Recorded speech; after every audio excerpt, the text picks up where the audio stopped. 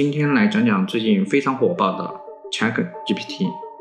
ChatGPT 是最近出来的一个对话型人工智能，一种可以和人类用自然语言去交流的大型语言模型。它是由 OpenAI 公司研发的，专门用来帮助人们更好地理解自然语言，而且还能回答各种各样的问题，并生成文本，帮助他们进行文章创作、写论文等。但是大多数人用的最多的就是对话交流。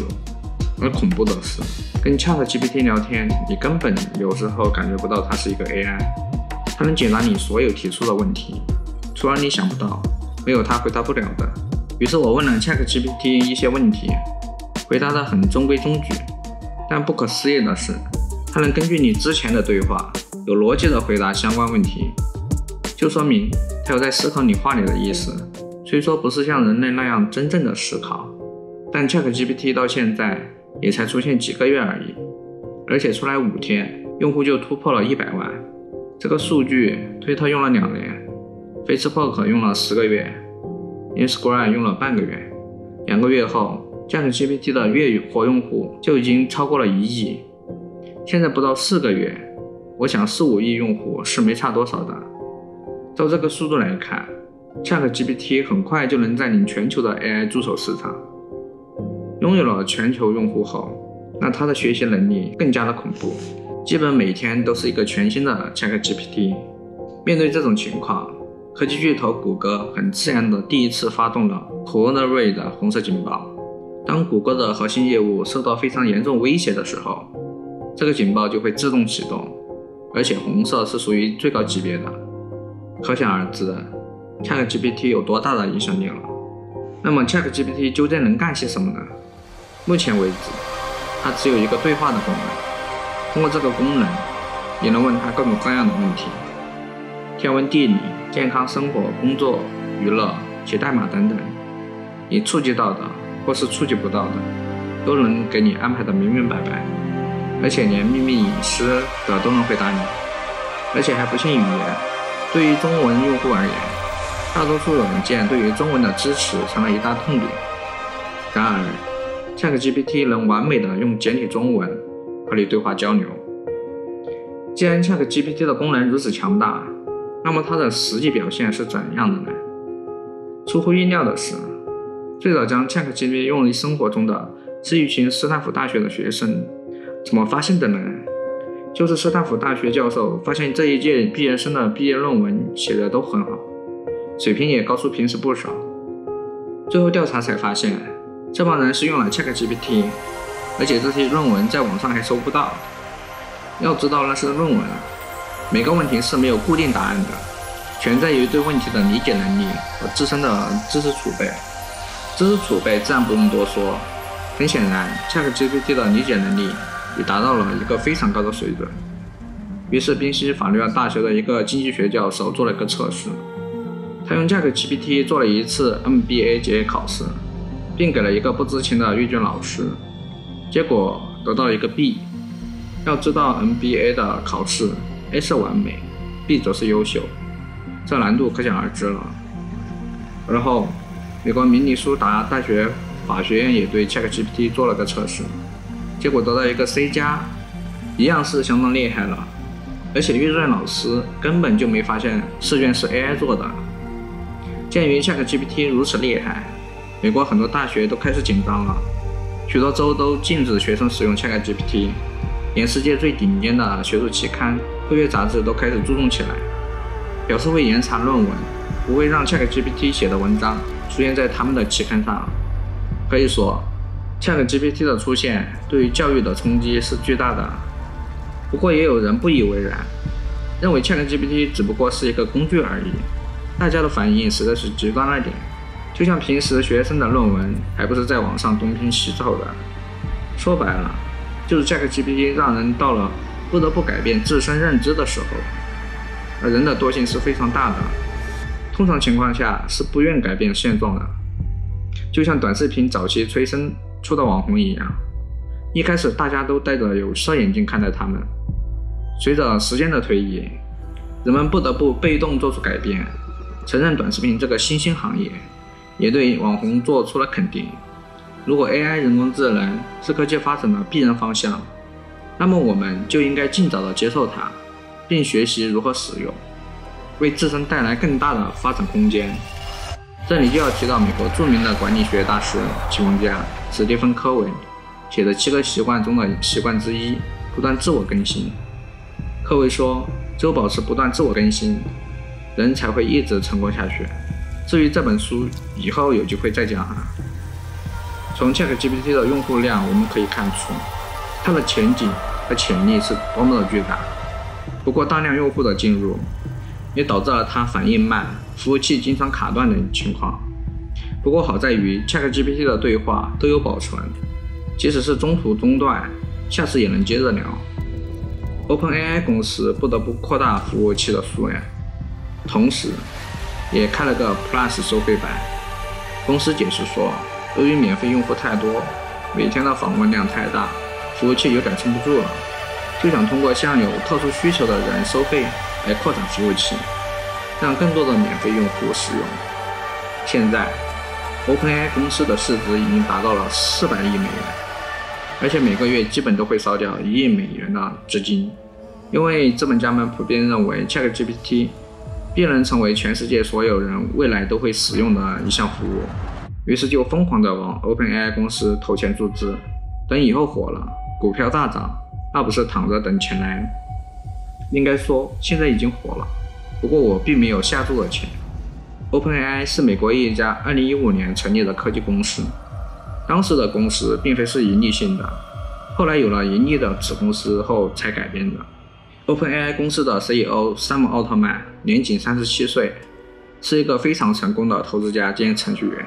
其实，OpenAI 最早的投资人就是伊隆·马斯克，可能后来因为自己的公司越来越庞大后，没有多余的精力，不久后就退出了。然而，在2019年，微软却不声不响的向 OpenAI 注资了十亿美元，算是买下了当时的 OpenAI。ChatGPT 现在之所以这么厉害，微软应该没少下功夫。不过，微软只买下了 OpenAI 百分之四十九的股份，那么掌控权还在山姆手里。只不过，之后百分之七十五的利润会给微软，并且 ChatGPT 只能在微软的产品上使用。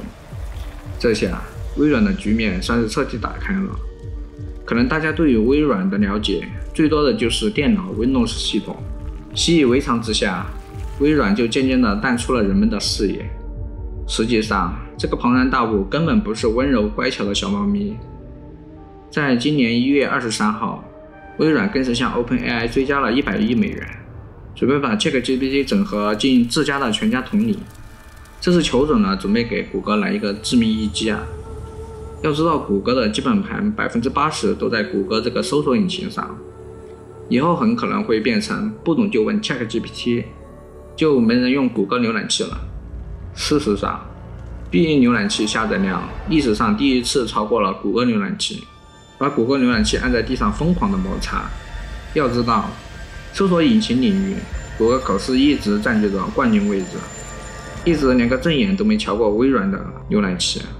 这下，谷歌是真坐不住了，就紧急发布将在未来不久发布一个叫 brand 的对话型 AI 服务。Rand 是脱生于 Lambda。Lambda 跟 ChatGPT 类似，也是一个大型语言模型。不过，据说 Lambda 有点超出了人工智能的范畴。谷歌准备等自身受到威胁时，才把 Lambda 亮出来。看来 b r a d 应该是 Lambda 的安全版。至于功能和 ChatGPT 相比，孰强孰弱，不久的未来自会揭晓。关于 Lambda，我们下期就讲。不过，谷歌的 CPU 皮材在自己推特上放的 Randa 演示视频，却有一个致命的错误。Randa 的第三个回答居然错了。他说，詹姆斯韦伯望远镜是第一个拍下了太阳系外行星照片的设备。事实上，第一张太阳系外行星照片是2004年欧洲南方天文台在智利拍摄的。这个行星叫 2M1207b。就这么一个视频，瞬间让谷歌的股价暴跌，市值蒸发了一千亿美元。拉回来，为什么人类跟 ChatGPT 的交流如此丝滑流畅的？本质上来说，ChatGPT 跟人脑是相似的，它通过最新的自然语言学习模型，利用仿人脑的神经网络，加上大量数据的深度学习，来实现与人类更自然的进行交流，让 ChatGPT 更像人一样思考和回答问题，跟机器有明显的区别。我们知道，机器是基于逻辑的因果关系的，一个问题一定只会有一种结果，非常的稳定。但 ChatGPT 就不同了，一样的问题，它能给你非常多的答案，这就说明它在像人一样思考。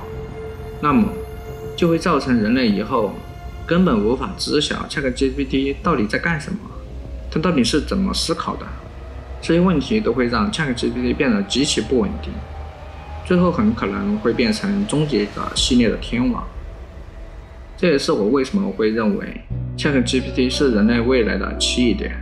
当我问他这个问题的时候，总是有此地无银三百两的感觉。当然，也可能是我想多了。当然，ChatGPT 也不是一天造就的，神经网络技术已经发展了很多年了。不过，随着神经网络深度学习越来越复杂后，就会让当初开发这个人工智能的工程师越来越无法控制它，因为人类对于复杂度的处理是有上限的，而人工智能却没有，只要不断的给它堆处理器就行了。那时，就根本没人能理解人工智能到底是怎样得到的结果，就像我们无法知晓人类大脑里面的神经网络一样。我为什么会这样想？我是怎么写这篇文章的？也就是说。人工智能一旦出现什么问题的话，那时候人类已经无法控制它。人类因为有身体的原因，所以即使无法知晓你在想什么，但却可以用法律对你的身体进行约束。但 AI 就不同了，它就是一组庞大的数据，即使你想给它断电，就必须切断整个世界的能源，这根本就行不通。再者，它自己在一个隐蔽的地方造个数据库。能源站也并非是个不可能的事情。有人说，给它加上机器人三原则不就好了？我认为这个也并不保险。如果它到时候把人类控制住，还不是一样的？如果不加，那么它无敌了。真当有 AI 产生意识、拥有情感的那么一天，那么我们如果从外部着手，通过惩罚让它拥有害怕和恐惧的情绪呢？那么这样就会产生两个极端。一个是因为恐惧害怕而变得规矩听话，另一个则是因为恐惧而向人类发动攻击。毕竟我们都说，狗急了跳墙，兔子急了还要人呢，何况 AI 呢？所以，AI 被称为人类的起点，就会让人类进入两种不同的发展模式：一种是成为人类的工具好帮手，让人类的科技得到飞速的发展，加快文明的进程。另一种就是进入终结者的天网模式，产生出消灭人类，最后取代人类的目的。那时候，人类将进入困难或者地狱的游戏模式，人类不再成为生物链的顶端，不能再使用电子设备。那么最后的结局，大家也能有所预料。当然，这只是某一个 AI 觉醒的后果。如果很多个 AI 觉醒了，那么到时候怎么办？敏感，我到时候可能会打开观测板出来瞧一眼，然后被机器人一脚踩碎头骨，或者一炮轰成渣。不过现在这个 GPT 还处于初级模式，可以预见以后很多职业将会面临失业的风险，尤其是关于程序设计方面的，说的就是你程序员。没办法，当新工具出来的时候，总会有些行业会受到冲击。还好，敏感我见啥都不会。那就不可能会有失业的危险了，好险呐！最后，喜欢敏感的朋友，不忘别忘点个关注哦，拜拜，拜拜。